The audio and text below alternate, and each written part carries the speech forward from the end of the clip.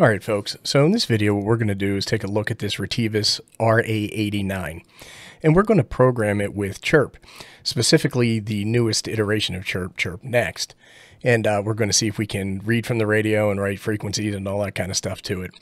Uh, what I wanted to mention is that I was contacted by Retevis and they asked if I would do a review of this radio. And of course I said yes because I like Retevis radios and I like to do reviews.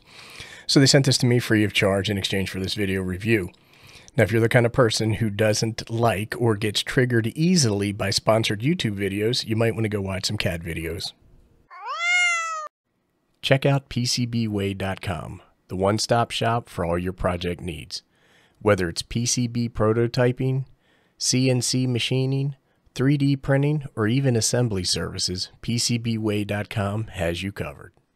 PCBWay.com is not a broker, and they provide PCB fabrication and assembly services under one roof. And quality is always put first at PCBWay.com. Trusted by the world's major manufacturers, PCBWay.com offers way more than just PCB services. Go ahead and check them out. Get your quote today. Okay, so here's the radio, and we're going to need to interface this with our computer. And so I've already taken the cover off, and you can see the cover here. And the cover is held on by a screw, which helps with the waterproofness of this radio. So you got to take the screw out, take the cover off, and then you expose the connector types here. And so in this case, we're going to use a Retevis programming cable, and I recommend that's, at the, that's the one you use. You just plug this into an open USB port on your computer, and then you hook the K-type connector, that's after Kenwood, I believe, connector to your radio. And you just put it in like so. Now when you do this, you want to make sure that you push it all the way to ensure that your uh, cable is firmly seated in here and you have a good quality connection.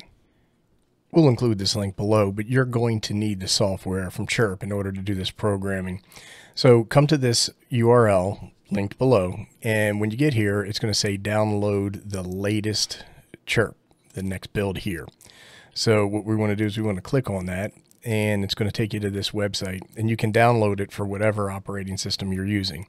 In our case, we're using Windows 10. So I'm going to click on this Chirp Next Installer and it's going to go ahead and it's going to download it and then I'm going to run that installed on my machine. What I'm going to say is I'm not going to show how to install the software because it's pretty simple. You just click on the executable and then go through the wizard. If you can't do that, you probably shouldn't be programming radios.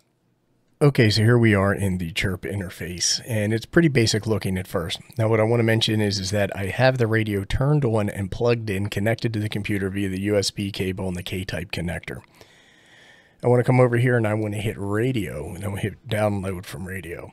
And I get this dialog box. Now the first thing is you need to set your port. When you hit this drop down, you're going to see all of the COM ports that are configured for your computer at the present moment. And right now I've got COM1 and COM11. Your COM port numbers will probably be different. Now, if you're using the Retevis cable, you're going to see something that says Prolific PL2303GS USB serial COM port. If you're using a different cable, it's going to say something different. Some cables will work, some won't. Good luck. I would suggest using the Retevis and you should have something like this. The next thing you do is hit the drop down menu and you pick the vendor, in this case Retevis or Retevis, depending upon where you're from, and then you want to pick the model number. In our case, it is the RA89. I'm going to hit OK. I'm going to get this prompt that says radio information, Retevis RA89. Do not prompt again. I'm just going to hit OK and says this is an early stage beta driver. I'm going to hit OK. and now it's cloning from the radio. And you see we were able to successfully read from the radio. Now I can make edits to any of these. I can add a name, for example. I can add tones if I want to. Then I can set my actual tone frequency if I want to. I can set squelch, DTCS, RxDCS, polarity, cross mode, duplex, offsets. I can set my mode if I want to. Right now we're set for wide FM. And then I can skip this for scanning purposes if I want. So that means if I'm scanning, I can include or not include that. And then I can set my power level from three different levels, and I can actually put comments in here as well. Okay, let's take a look at the settings tab, and I just click here to see my settings. The first thing I see is the basic settings, and you can read all those here. We have a prox uh, priority transmit, Vox level, squelch level. These are all sp radio specific, not channel specific settings. I have my dual wait standby set for 25 seconds, background light color set to number 7, Uh, keypad beep is turned on. Transmission timeout timer. This is for uh, when you're yapping along. It's set for 90 seconds. It'll time you out. There's a Vox switch, a Roger beep, battery save mode, scan type, auto key lock, voice prompts, intro screens, key lock mode. And then we have display mode and radio monitor. Okay, if I click here in the advanced settings, I get a couple more lines, and the first one is end tone elim for the end tone elimination. Intro line one, intro line two. This is what you see when you boot up the radio. Let's go ahead and change this. The smoking ape. And see what happens there. Intro line two is the model number of the radio. Vox delay is point zero. Uh, it's 0.5 seconds. You have our region set. And then the side keys, one and two, these are multifunction keys, and I can hit this drop down and pick a variety of different options, which is pretty handy.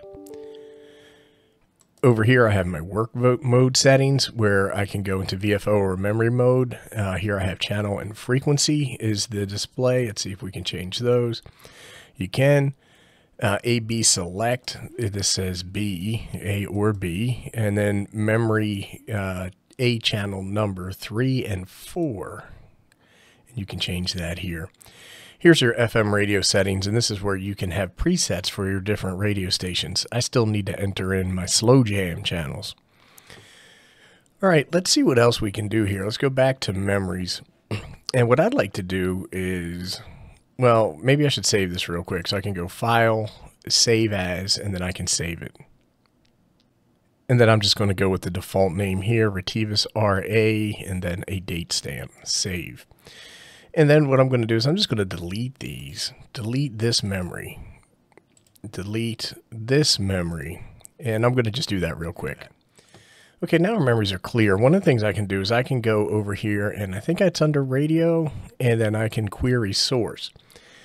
Here I have a couple of different, have radio reference or repeater book, DMR-MARC, and I can't pronounce that, but that looks like it's a European repeater listing. Let's go with repeater book. And when I go in there, I get this dialog box. I have country, United States, service, amateur. I can also import GMRS frequencies, state or province. Let's go with Nebraska. Pick that. And then I can fill out some latitude, longitude information, uh, distance optional. Let's go 50 miles. And this says distance in kilometers from coordinates. Well, we're just going to go with uh, Nebraska and we're going to see what happens and then filter optional county, hospital, etc. Filter results location matching the string. Well, we're not going to do that. Let me hit OK and see what happens. Okay, here are my frequencies that get pulled back from the from the search and you can see there's a bunch of stuff in here I'm not sure that I want. Like, for example, here's a DV for digital voice. Or here is a DMR uh, frequency, and I don't want to use DMR because I can't on this particular radio. Let's say I'm interested in this one. I should be able to right click, copy, and then go over to my radio here, and I should be able to paste. And then I can do that and get all the different repeaters that I want. Let's go back and just get a couple more.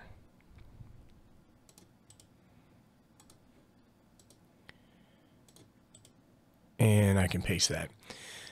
Now, last thing I'm going to do is I go over my radio, and then I am going to pick upload to radio.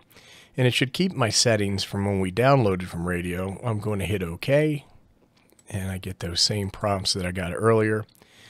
And right now it's cloning to radio, so it should be writing some of the changes that we made to our radio.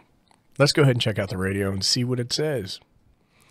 Okay, here's the radio. Let's go ahead and turn this on and you can see it said the smoking ape and then here are my frequencies that I just added. So it's pretty easy pretty simple to do. Anyhow I thought I'd put this video together. If you have any questions comments suggestions or recommendations go ahead and post them below and I'll do my best to respond. Thanks for watching everybody